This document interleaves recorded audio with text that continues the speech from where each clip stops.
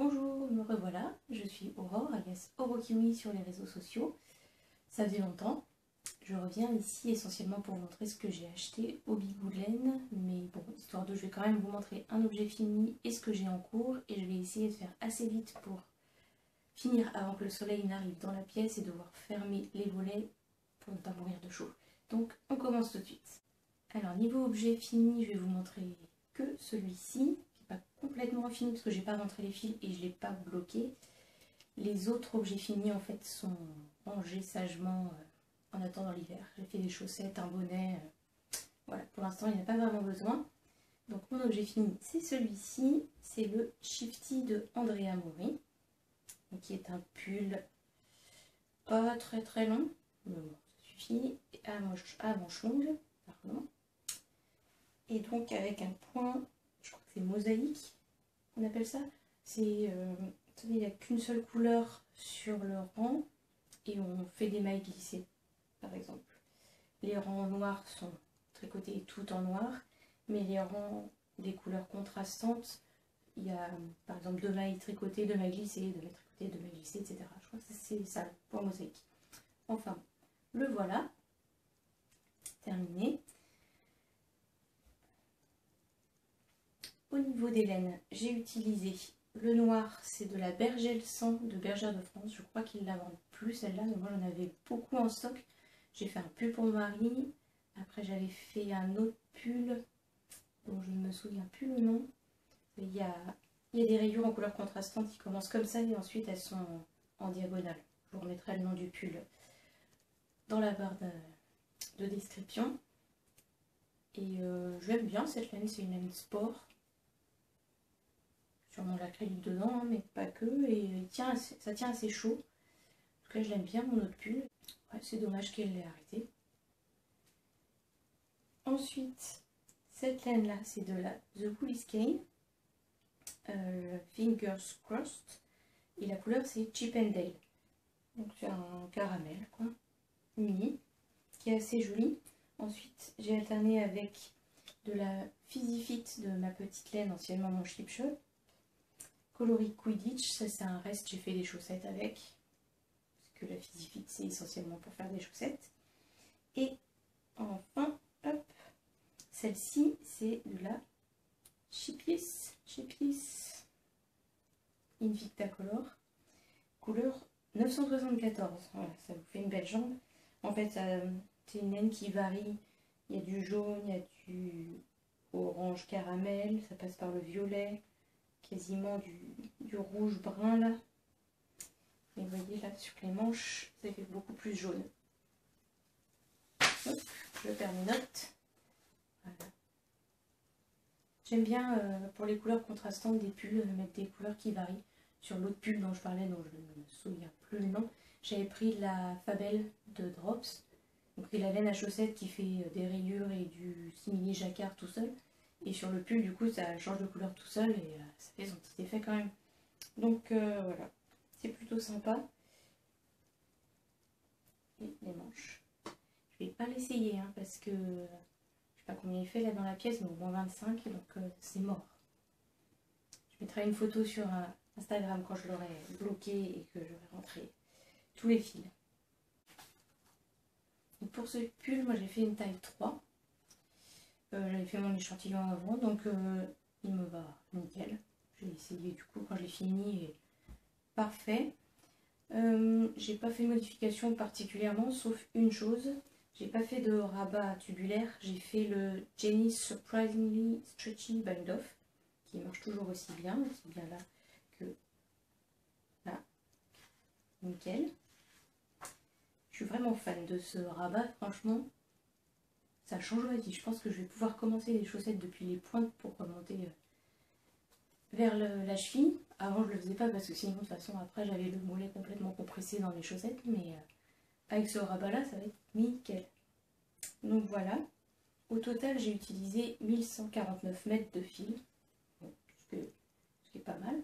C'est raisonnable. Et j'ai mis un peu moins de deux mois et demi pour le faire. Au début, je voulais le faire pour le cal de Andrea Mori, le Dear K March to May cal.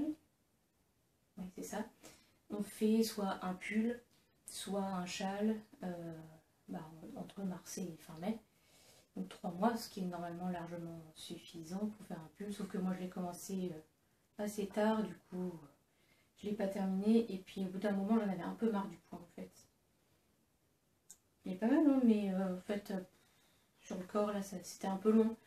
Donc j'en ai eu un peu marre, donc j'ai un peu arrêté, puis je l'ai repris. Donc euh, finalement j'ai dépassé euh, la fin même. Peu importe, c'était plus pour, euh, pour le fun qu'autre chose. Et puis ça m'aura quand même motivé, parce que deux mois et demi pour faire un pull, je suis plutôt deux ans et demi en général pour faire mes pulls. Donc là, ça va, ça reste rigolable. Donc voilà, je vous remontre un petit coup. Devant, derrière. Derrière, on voit un petit peu la démarcation là, mais les débuts et fin de rang, c'est dans mon dos. Moi, je le verrai pas, je m'en fous. Et je sais pas si vous voyez, mais euh, la, la physifite, elle brille un peu. Je sais pas si on verra à la caméra. Je bouge un peu, peut-être. C'est très léger, hein, mais euh, ça brille quand même un peu. Donc, voilà, ce petit, petit truc un peu fun pour l'hiver. Donc voilà, un objet terminé. Donc comme je vous ai dit, il y a deux paires de chaussettes aussi et un bonnet. Puis d'autres trucs que je vous montrerai une autre fois. Mais euh, bon là, ils sont rangés. J'ai un peu eu la flemme de ressortir toutes mes affaires d'hiver pour euh, retrouver et juste vous les montrer. Donc on les verra une prochaine fois. Alors, ensuite les encours. Mon premier encours, c'est le Top Mamselle de Le Style Knitting. Si vous suivez euh, la boutiqueuse, vous avez déjà dû dû voir ce top l'année dernière. Elle l'a fait en bleu et blanc. Et je crois qu'il y avait des rayures sur le corps et elle avait fait un côté bleu, un côté blanc. moi je le fais en une seule couleur. comme vous voyez, j'ai fini la moitié d'un du lot. Voilà, magnifique. Ça parle vachement, mais bref. C'est à ma taille du coup, on voit. Hop, voilà. Donc j'ai commencé l'autre partie, hein, tout juste. Donc il y a un, montage provisoire, hein, vous pouvez le voir. J'aime bien. Euh, on est vraiment tenu par la main dans le modèle, donc euh, pas vraiment de questions. Elle nous indique à tel endroit vous pouvez rajouter ou enlever des rangs selon votre échantillon. Donc moi j'ai rajouté des rangs parce que sinon ma bretelle aurait été trop courte d'après mon échantillon. Et euh, voilà. Euh... du coup, là, tout est en attente parce qu'après, on va tout reprendre pour le, bas. Donc, ce côté-là qui est mon montage et ce côté-là qui est la fin de ma, partie. Et donc, la laine, oh, elle est belle hein, celle-là. C'est de la vilaine tordu fing. Donc, c'est de la fingering, 365 mètres pour 100 grammes. C'est du 100% mérinos très retordu. J'aime bien les, laines très retordues, je trouve ça cool à, tricoter. On pique pas dans, les, dans le brin, je sais pas. J'aime bien le, rendu sous les doigts. Et la couleur, c'est trouver l'écharpe du rouge-gorge. Très très beau. je vais comparer avec le cake. Et une fois tricoté,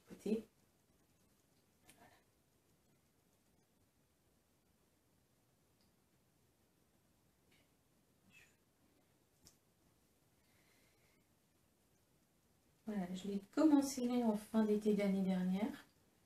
J'espère le finir avant la fin de cet été pour pouvoir le porter quand même. Ce serait dommage de devoir attendre l'année prochaine. Donc euh, voilà. Maintenant que j'ai fini mon pull shifty, j'avais surtout envie de finir ce pull. Maintenant que je l'ai fini, euh, ça c'est l'encours euh, vêtements prioritaire, on va dire. De toute façon, j'en ai pas d'autres encours vêtements. Donc c'est celui-ci, et puis c'est tout. Voilà pour cet encours. Mon deuxième encours vient de ce catalogue Bergère de France de 2014-2015. C'est-à-dire que du coup, je l'ai dans, dans mes objets à faire euh, sur Avery depuis à peu près cette date-là. Il s'agit de chaussons. C'est des chaussons chaussettes en fait. Bon, on verra rien là en fait. Un peu délicat de vous montrer ça ce sera plus simple de vous montrer plutôt la première qui est terminée. J'ai remis un peu à ma sauce un modèle. Par exemple, j'ai fait un, talon, un fichier Skissil. C'est plus simple pour moi. Et puis après, il y a des trucs qui ne me paraissaient pas hyper cohérentes. Typiquement, les côtes n'étaient pas sur un nombre où on alternait vraiment euh, endroit envers, endroit envers. À la fin du rang et au début du rang, on se retrouvait avec 4 mailles endroits, quoi, par exemple. Du coup, j'ai rajouté deux mailles pour faire euh, maille en maille envers, maille envers. c'est pas grand chose quand même, mais euh, c'est quand même plus joli que se retrouver à un endroit avec quatre mailles endroits. Bref.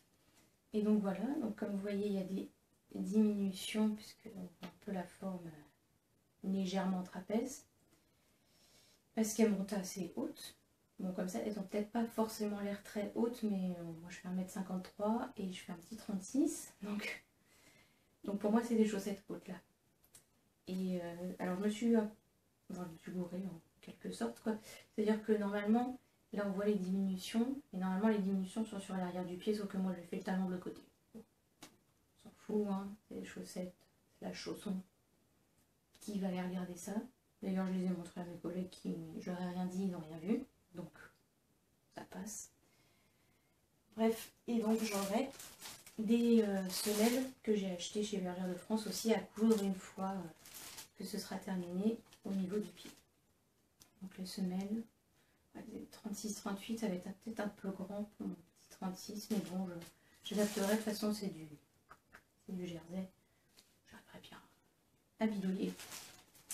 Donc voilà, ça fait hyper longtemps que j'ai tout ça.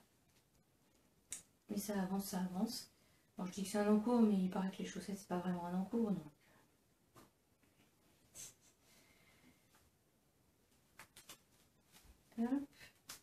Et la deuxième, j'en suis là. C'est surtout mon projet nomade, donc je le tricote euh, le midi, euh, quand, je suis dans la voiture, en, revenant des laine par exemple, tricoter ça. Et donc la laine, donc c'est de la bergère de France, c'est la Goumi 50. Je trouve que la Goumi 50 c'est un peu l'équivalent de la Fabelle de Drops euh, de, chez, de chez Drops. À part qu'elle est peut-être un peu plus rêche.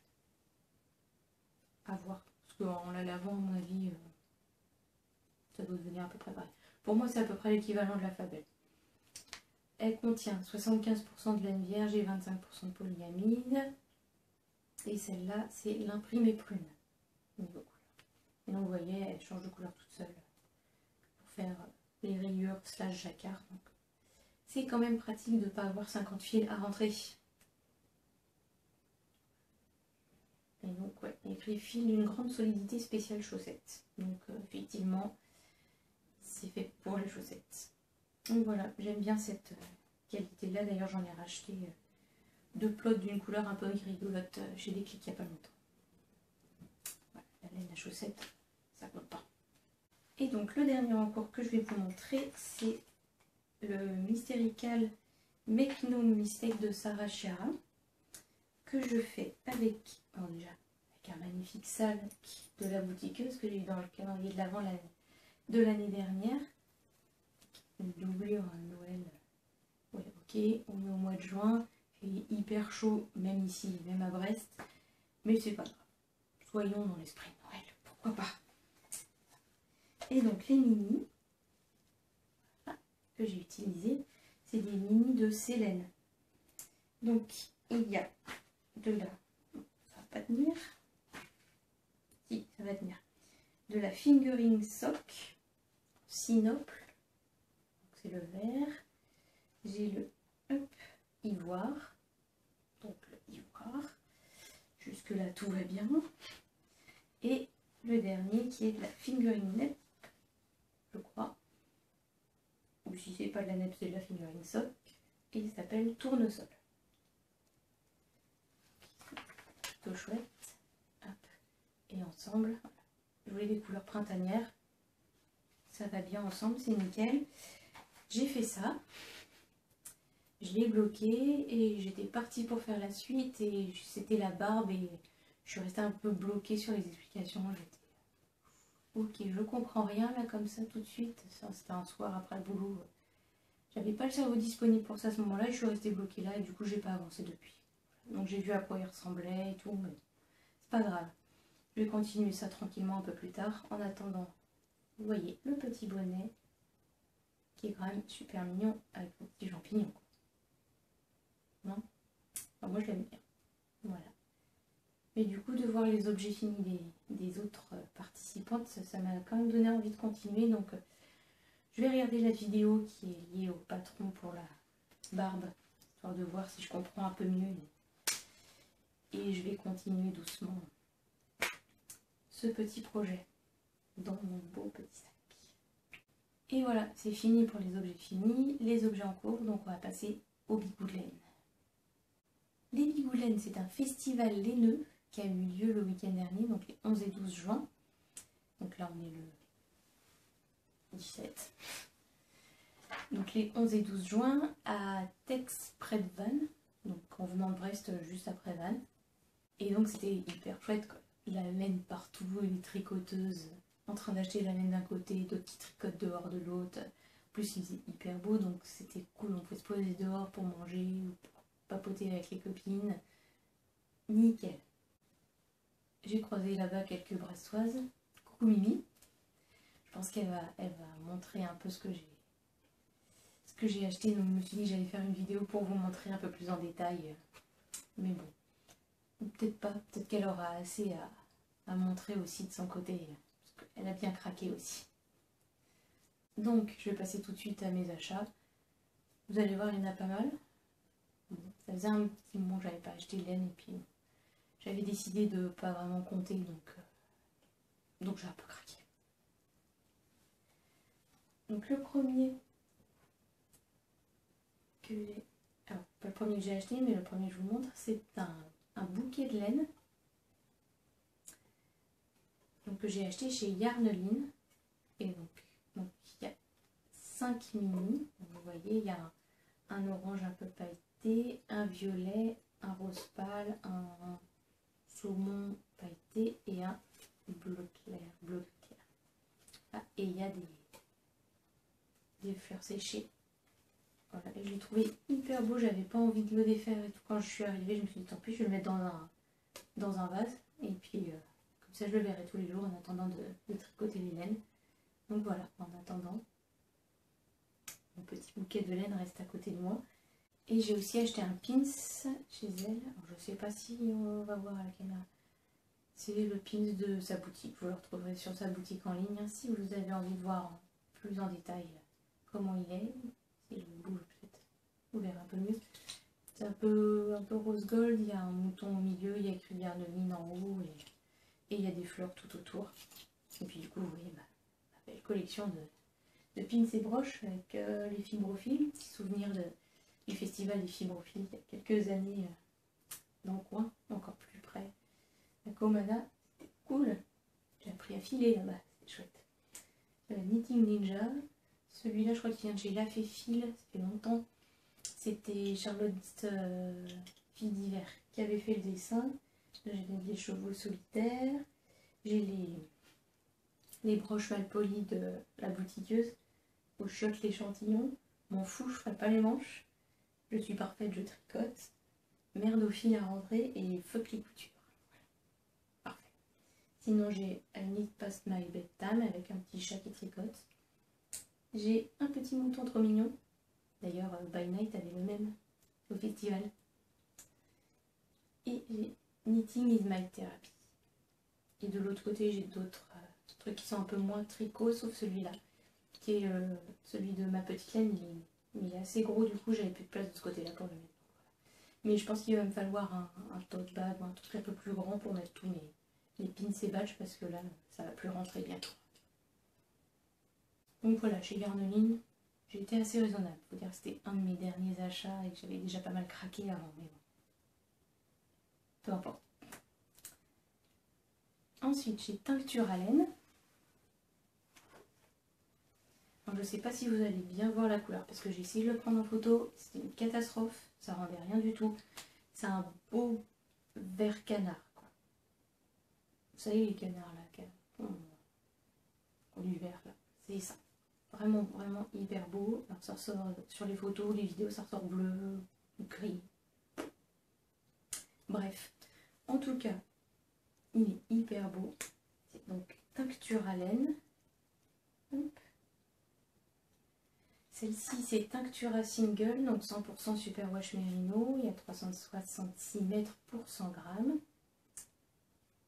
Et avec celle-ci, qui est de la Tinctura Kit Silk, donc mohair et soie, 420 mètres pour 50 grammes. Tout, tout doux. Et donc, les deux sont de la couleur caméléon. Et l'idée, c'est de me faire un bonnet. Je ne sais pas encore. Et peut-être des mitaines pour aller avec. Euh, je ne sais pas encore quel modèle, je n'ai pas décidé, mais des bonnets avec cette combinaison de laine, il y en a à l'appel. Donc je ne m'inquiète pas. Je vais bien trouver quelque chose. Donc voilà, celle-là. J'espère que vous les verrez bien parce que franchement, elles sont hyper belles.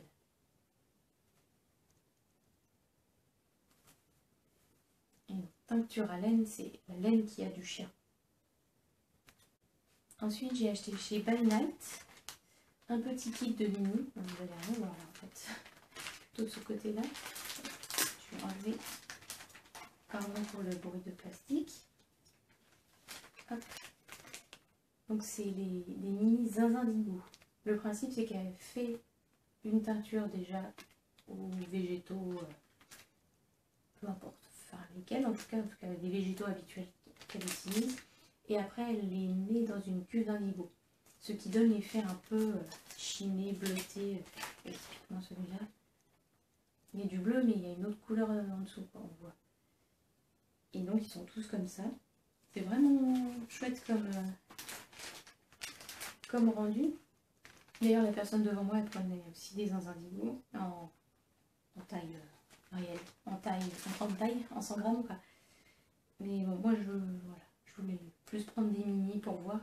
Donc c'est la base Star Sock, 75% Merino Superwash et 25% Mino. Teint à la main avec des plantes et des insectes. Donc voilà, 5 petits mini et en cadeau on avait le droit à un petit stylo avec écrit By Night, Naturally Hand-Dyed Yarns and Fabric. Et je m'étais souvenu que en fait quand j'avais passé une commande sur son site internet, euh, j'avais eu un, petit crayon aussi, avec écrit euh, la même chose et by night. C'est des petits trucs euh, sympas parce que de toute façon, on utilise toujours des stylos, donc c'est le petit truc qui fait plaisir, c'est sympa. Voilà, donc des mini en plus. Ensuite, chez Laine de Mout, j'ai d'abord pris des fluos. Voilà. 5 mini flashy. Mon idée là comme ça, c'était de m'en faire une paire de chaussettes avec une laine écrue pour aller avec. Histoire que ça ressorte bien. Je suis sûre d'avoir vu passer une photo de ce que j'ai envie de faire sur Instagram, sauf que je ne la retrouve pas. Mais je pense avoir retrouvé le modèle sur Ravelry, donc il va falloir que je farfouille un peu plus, parce que je n'ai pas eu le temps pour l'instant, mais pour retrouver un peu le modèle que je veux exactement.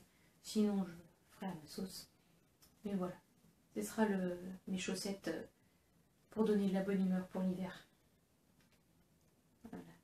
Les mini fluo, donc de chez Laine de Mout. On vous colore la vie. Et donc c'est 85% Merino Superwash, 15% Mille. C'est plutôt doux aussi. Ça, ça va être amusant à, tricoter, je pense, le fluo comme ça. il n'y aura pas de problème le soir pour le tricoter, même s'il fait sombre. Ça va ressortir. Ça, c'est pas comme le noir de mon pull. Voilà. Ensuite, toujours chez Laine de Mout, j'ai pris un hot dog chaussette. Donc, comme vous voyez, le pain, la saucisse, le hot dog. Je trouve ça plutôt rigolo comme, comme façon de présenter. Donc, on a une soque blanche. Donc, c'est une, si vous ne connaissez pas, c'est une couverture qui a été tricotée à la machine, normalement, donc teinte et qu'on va détricoter pour euh, retricoter, faire une chaussette. Et donc avec son mini euh, pour faire les pointes, les côtes éventuellement, le talon, euh, ce que vous voulez. En tout cas, là j'ai 50 grammes au niveau de la soque blanche et le mini de 20 grammes. Donc pour ma, pour ma pointure, ça suffit, c'est nickel. parce que Madame Laine de pardon, je connais pas trop, mais Madame Laine de me disait que c'était un peu juste pour elle, pour faire une paire de chaussettes, ou alors elle montait vraiment pas haute, pour moi, a pas de problème. Donc voilà, c'est le coloris numéro 13. Ouais, il était très sympa sur le stand, tout simple de toute façon, mais c'est un, des premiers que j'ai fait. J'ai un peu copié sur euh, Séverine avec qui j'ai covoituré, puisqu'elle en avait acheté un. C'est chouette, c'est bon. Et du coup, je suis allée en acheter aussi. Et c'est tout. Ça va être cool à, tricoter, je pense. Il y a des spécules de partout. Ensuite, j'ai teinturluré. J'ai pris un. Une petite broche mouton que mon mari trouve très moche, mais que moi j'aime bien. moi je la trouve trop mignonne. Hop, ça. Voilà. Pour la chat. Bon, en vrai, pour l'instant, je l'ai mise avec mon, petit bouquet de laine. Comme ça, je les vois tous là. Et ça me met en joie. Donc, c'est cool. Et j'ai pris aussi une box Sunshine. Donc, déjà, alors du coup, si vous avez une box Sunshine en attente, que vous ne savez pas ce qu'il y a dedans, que vous ne voulez pas savoir, peut-être avancer un petit peu, parce que je vais vous montrer. Donc il y a un petit pochon, ce qui est toujours utile, hein, quand on a plein de projets à venir. On a une crème naturelle solide main, corps, barbe, de Naturelle Savonnerie Créative.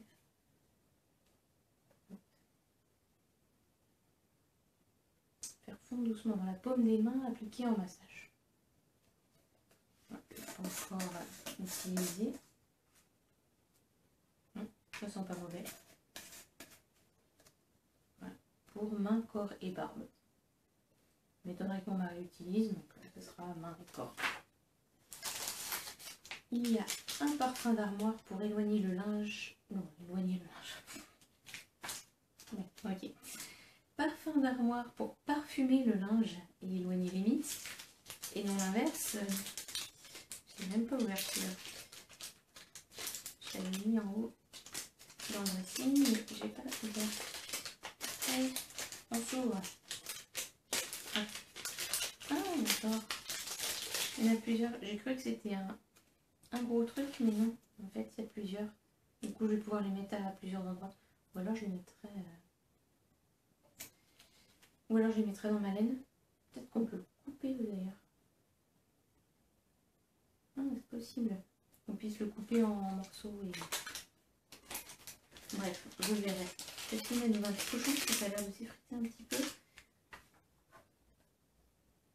Ouais, ça pourrait pas mal faire des petits, petits, petits, petits pour les mettre dedans et mettre dans le ou dans la laine. Bref, de toute façon ça c'est toujours utile. Surtout que dans mon premier appart à Brest, on a eu une invasion de mythes. Qui, heureusement, ne s'est pas attaqué à Malène Bon, alors j'ai eu de la chance, mais par contre qui a bouffé certaines de mes fringues que j'aimais bien. Un peu dégoûté, quand j'avais un gilet que j'avais acheté chez Asos. pas plus qualité folle ou quoi, mais j'aimais bien ce gilet. Et euh, quand je l'ai ressorti et que j'ai vu qu'il était bouffé par les mythes, j'étais dégoûtée. Et puis on n'en a pas eu qu'un peu en fait. La propriétaire avait fait refait faire une partie de l'appartement, quasiment tout l'appartement. Mais euh, dans le placard de l'entrée, il restait du parquet et en fait elles étaient sous le parquet et il y en avait aussi au grenier a priori et elles sont sorties par là. Et euh, après, on a déménagé et on en a retrouvé qui ressortaient de temps en temps, euh, longtemps après quoi, parce qu'apparemment les mythes elles peuvent se mettre en sommeil quand le le climat et euh, l'environnement est pas hyper favorable pour elle et vous pouvez retrouver genre pendant des années et des années après. Bref, du coup, euh, je fais attention, je remets de l'antimite régulièrement, je, fais gaffe parce que là, il est hors de question qu'on se retrouve à nouveau envahi par les mythes. C'était le stress, quoi. il y en avait qui grimpaient au mur, quoi. Bref, le stress de la tricoteuse envahie par les mythes. Mais bon, heureusement, vraiment, ma laine n'a pas été touchée. Par quel miracle, je sais pas, parce que c'était dans la même pièce. Bref, heureusement. Bref, quoi qu'il en soit, je vous montre peut-être les chevaux qu'il y a là-dedans. Au lieu de parler de mythes, hein. pas parler de choses qui fâchent.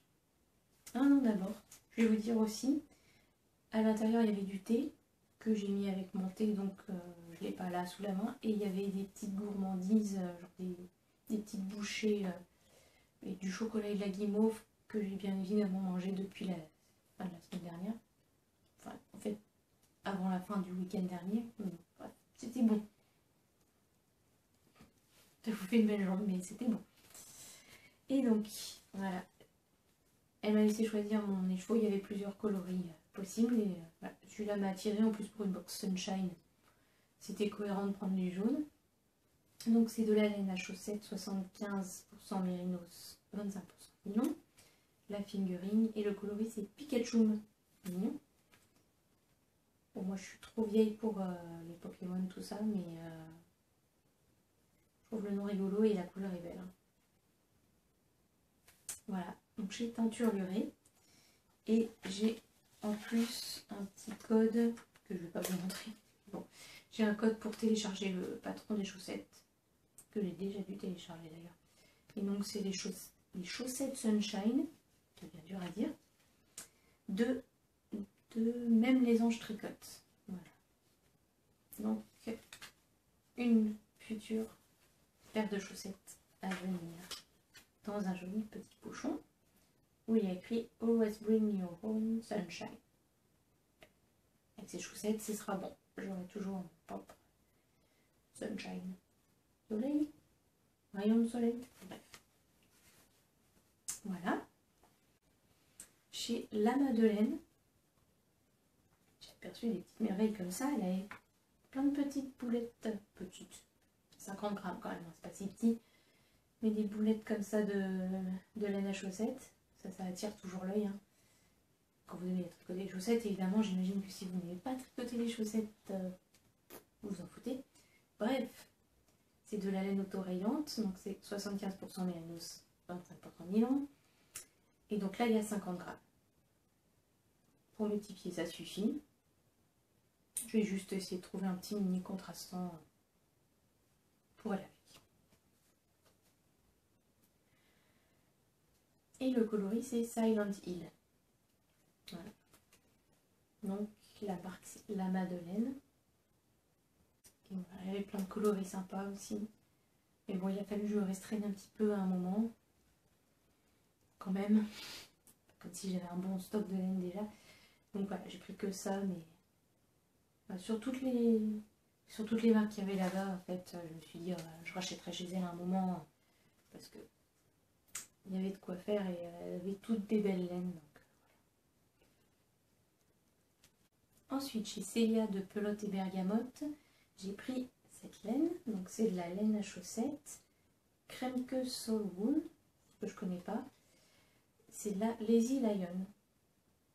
Teint à la main, Super Soft Sock Yarn from South African Merino. Ok. 75% laine, 25% Merino. Non, 25% nylon. Bref. Donc voilà. La laine à chaussettes. Elle m'a dit que c'était auto-rayant. Mais même si ça l'était pas, euh, je verrai bien. Je sais pas trop. La laine à chaussettes, ce qui est pratique, c'est bon. Vous pouvez faire des chaussettes évidemment, mais ça peut partir en châle, ça peut partir en pull, en bonnet. Puis sur de la laine comme ça un peu variée, ça peut partir en, jacquard et donner un petit effet un peu rigolo, un peu comme sur le shifty en fait. Mais euh, voilà. Donc on verra. J'ai pas de projet défini pour celui-là. Mais voilà.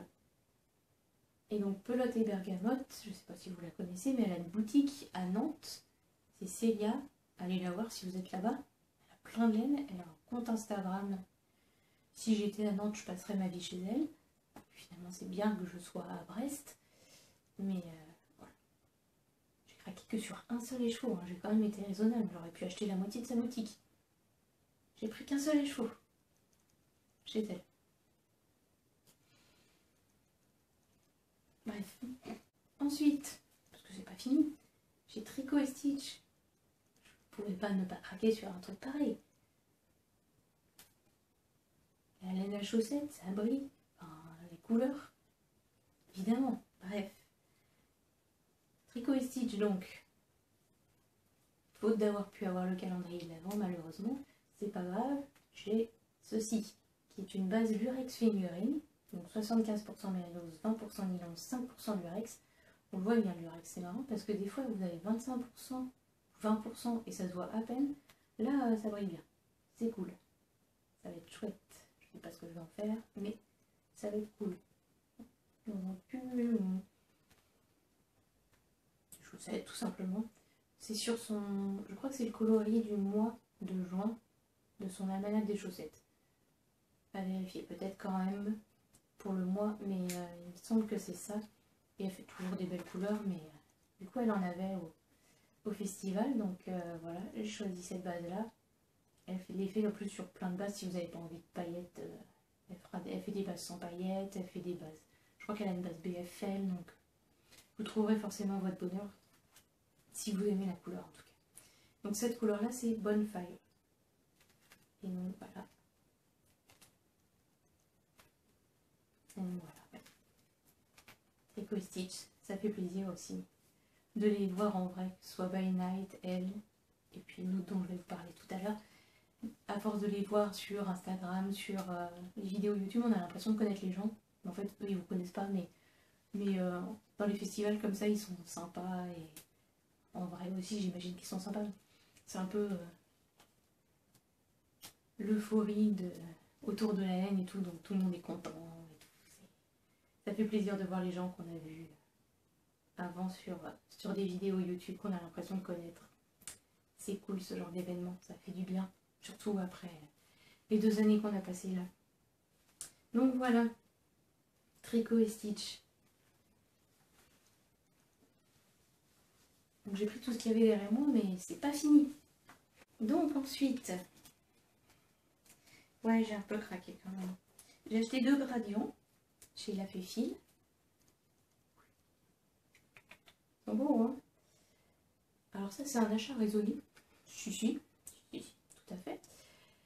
En fait, j'avais un projet en tête que j'ai envie de faire depuis des années.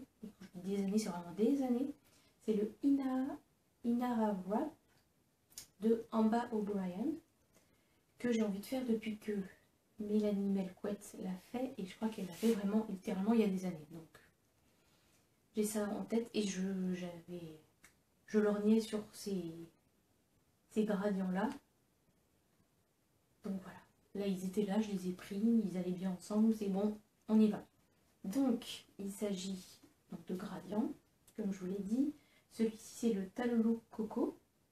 Donc c'est 75% Merino Superwash et 25% nylon. Et il va aller avec celui-ci qui est au tournesol. Et voilà. Et c'est en fait la... c'est une, grande étole avec de la dentelle. Et donc vous avez une couleur principale donc qui se dégrade doucement. Avec juste une toute petite rayure de la couleur de l'autre couleur, comme ça. Et après on passe sur l'autre couleur qui se dégrade. Et avec juste des toutes petites rayures de, celui-là. Donc euh, ouais j'ai hâte de le faire. Je pense que ça va être super chouette les deux couleurs ensemble là. Mmh. Ouais, ça va être beau.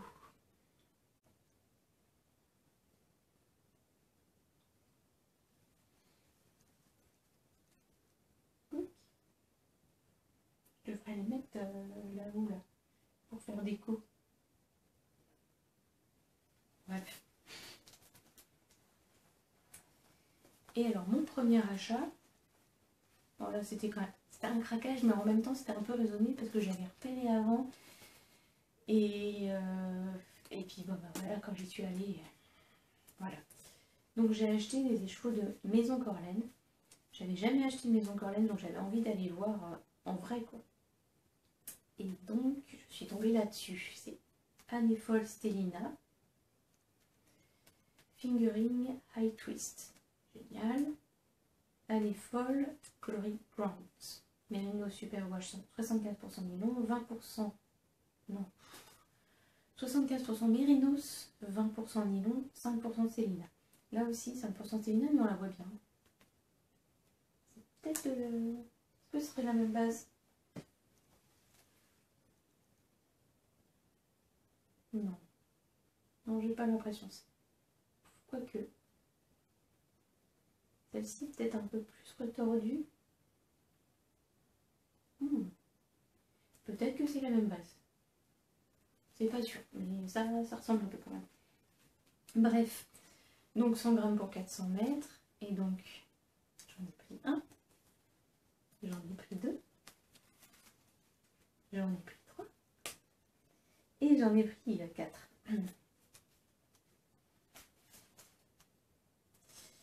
Bref, donc c'est un bleu très foncé. J'ai repéré un autre bleu, mais il n'y avait pas 4 échoués, il n'y avait que 3. Et je pense que c'était un petit peu juste pour ce que je veux faire. Donc dans le doute, étant donné que c'est en plus une base qu'ils arrêtent, je me dis, c'est pas grave, je prends l'autre où il y a les 4. De toute façon, le coloris me plaît. Un bleu très foncé, qui aura avec tout, c'est quasiment noir, foncé. Non, ça va être, euh, ça va être chouette. En plus, ils ont été de bons conseils euh, sur le choix de la, de la base, de, la couleur et tout. Super, maison Corlaine, je recommande. Hyper sympa. Les autres aussi, hein. c'est mon premier achat, donc j'étais contente. Et du coup, le but, c'est de côté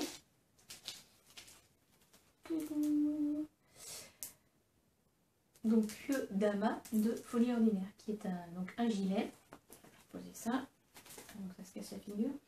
Donc c'est un gilet avec des grands pans de dentelle sur le devant, il est assez long.